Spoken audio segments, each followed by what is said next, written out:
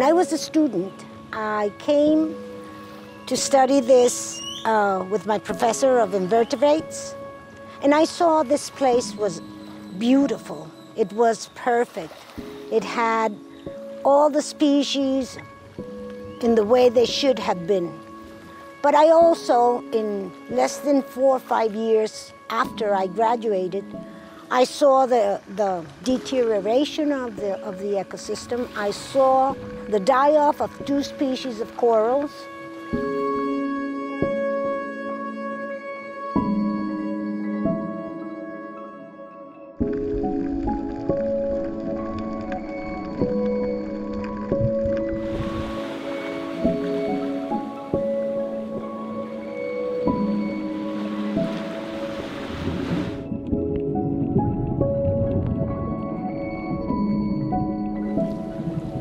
En el Gran Caribe una, extinción masiva del 95% de los acropóridos.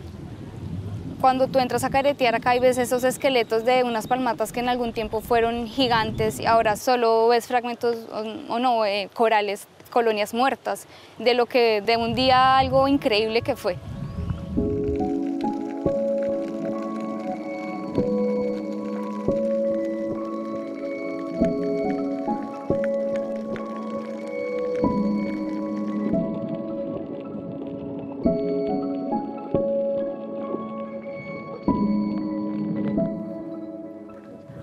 Buenos días.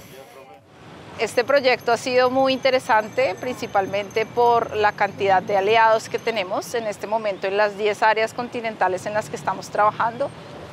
Entonces, ¿cuál es la idea? Se montan las cuatro varillas del centro, perdón. Y encima de esta se pone la malla plástica.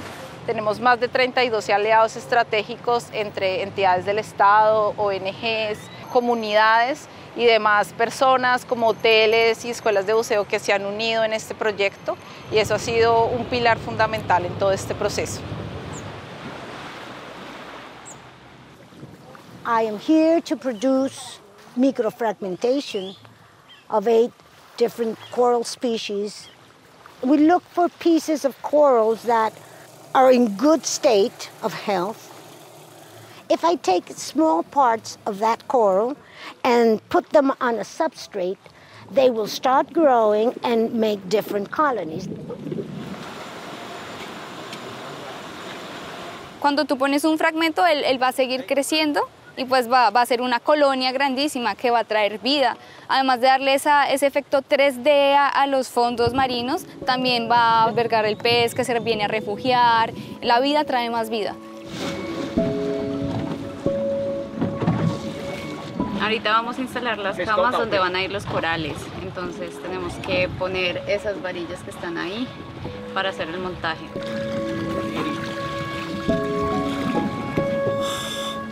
Like in the forest. We chop the, the trees, but for each tree that we chop, we should plant two. Restoration is for all the ecosystems we need. And Earth didn't come to what it is just because of chance. It's because of selection. Natural selection tells us that they should be here.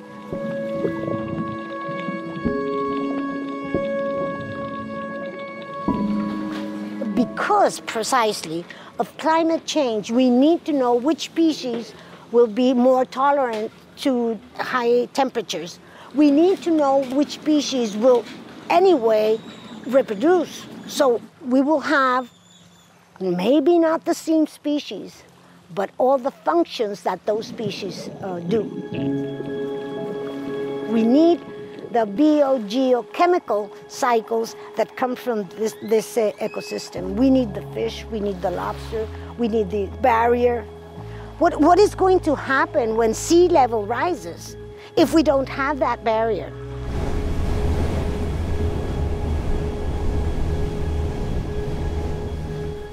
Yo ya no voy a poder ver cosas que vieron mis padres, que van a poder ver mis hijos, los hijos de mis hijos, qué planeta les vamos a dejar. Entonces, este esfuerzo es por eso, para que no se pierda todo lo que ya existe y, y que a causa del humano es que se ha venido degradando.